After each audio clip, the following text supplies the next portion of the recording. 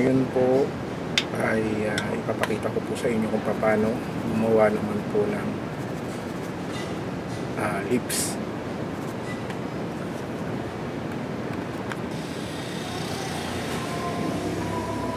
So ito po mga kaibigan.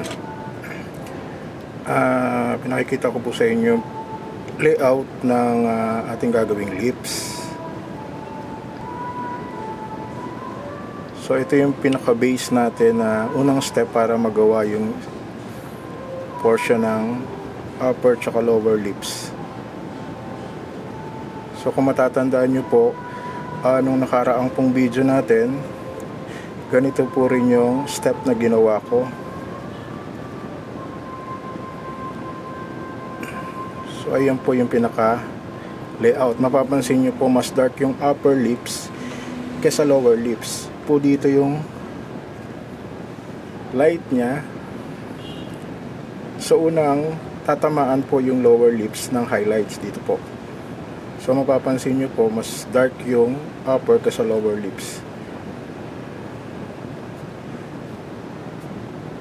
So saan po ba yung mga tinatamaan ng mga concentrated light? Yung concentrated light po dito po sa lower lips, dito sa mga areang to, sa dito, sa taas po, para ma-emphasize natin mamaya kung paano paalasahin yung subject natin.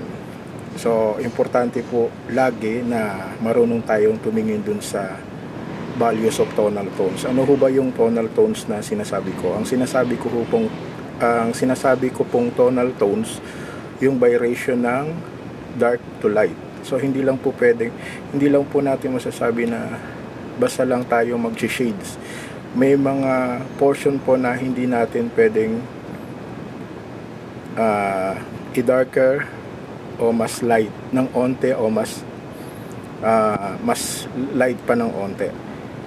So dito po naka-emphasize na ini-emphasize natin yung kung paano siya paalsahin. So ituturo ko po sa inyo. Ipafine na po natin yung uh, image na ginawa natin.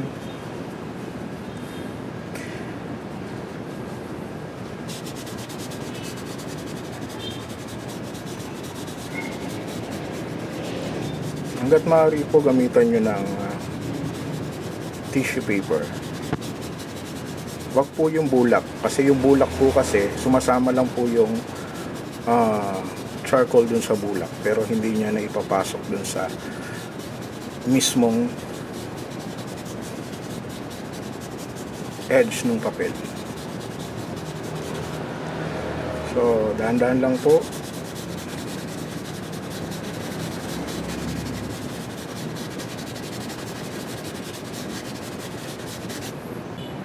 So ayun na po yung base tone natin na ginawa So ang gawin naman po natin ngayon kung paano natin lagyan ng mga concentrated light dun sa lips para medyo umalsa po yung subject na ginagawa natin. Ganito po. Gumamit po kayo ng needed eraser. Yung needed eraser po na ipoform natin yan kahit anong gusto nating gawin. Para ho siyang gum. So tulisan natin yung dulo dito po yung mga tinatamaan ng lights. Yan po.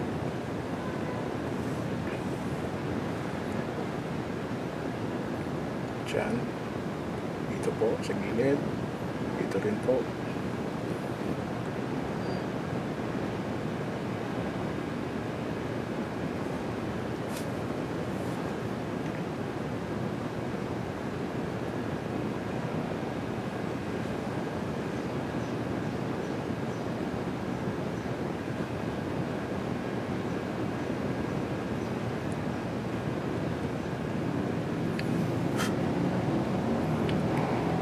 So mapapansin nyo po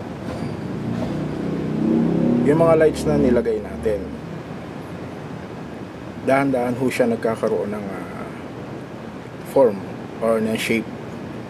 So ang gagawin naman po natin ngayon, i-apply naman po natin yung brush stroke. Ito pong ginawa natin nung una ay uh, base lang po para ma-emphasize natin kung saan natin pwedeng lagyan ng dark, medium tone, tsaka highlights. Yun po yung mga importanteng ah, dapat natin gawin doon sa ginagawa nating lips. Mga mga kaibigan, bago po natin i-apply yung charcoal doon sa ginawa natin, ipapakita ko muna sa inyo yung charcoal box. Ito po yung charcoal box na ginawa ko. Meron siyang sandpaper sa loob. Yung pinakapinong sandpaper po, dun nyo ikaskas yung charcoal pencil. Ganyan po. So para makapag-produce kayo ng powder. Pero hanggat, mm, hanggat maaari po ang gagamitin yung ah, charcoal pencil ay soft para makapag-produce kayo ng magandang powder.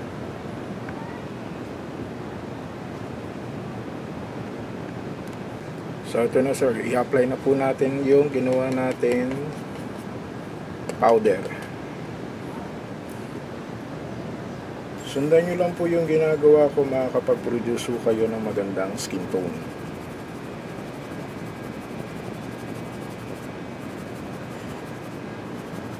Huwag ho kayong mainip mag-shades. Kasi po, pag binilisan nyo yung paglalagay ng shading, hindi rin po maganda yung lalabas.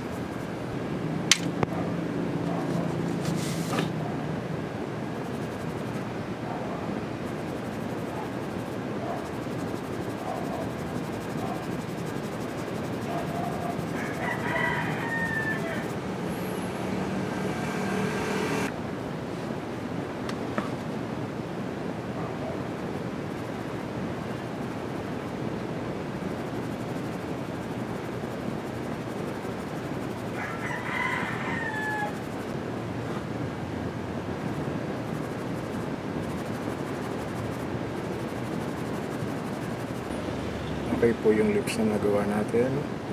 Ngayon naman po mga kaibigan, ipapakita ko po sa inyo kung paano maglagay ng highlights.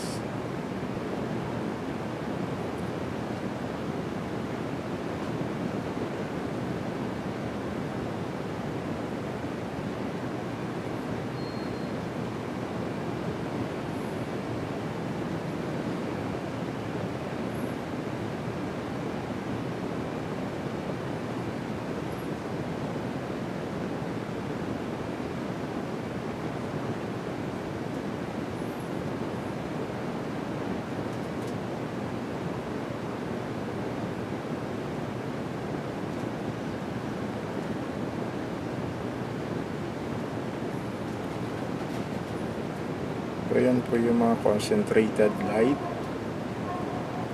na pumasok dun sa lips. Ngayon subukan natin lagyan ng onting details. Ang paglalagay po ng ah, highlights, mas maraming shades po. Mas makaka-achieve kayo ng magandang highlights. Ngayon po for demonstration lang yung ginagawa natin. Ngayon ito, um, isabay na rin po natin yung paglalagay ng bigote.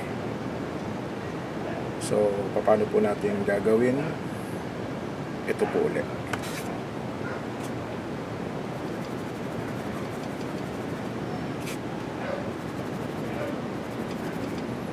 Hanggat maaari po, paikutin ulit.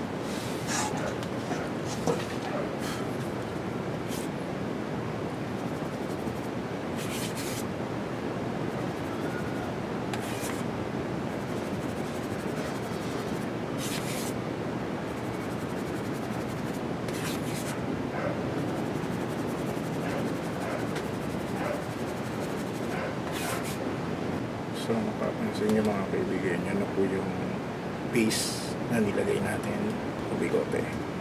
So, ang susunod naman po natin gagawin, lagyan natin ng highlights. Ang highlights na ilalagay natin kahit ano pong direction. Kasi ang bigote naman po hindi pare-parehas ng direction. So, yan po yung highlights. Pag-ilalim po.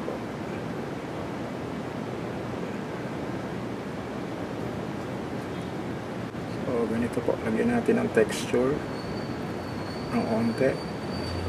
So kung saan yung marami siyang dark portion, doon natin lagyan ng maraming shibla. Lahat ko ng interesadong uh, manood sa aking video, uh, mag-like lang po at mag-subscribe sa aking video. Marami pong salamat po. Marami pong salamat ulit Is in 体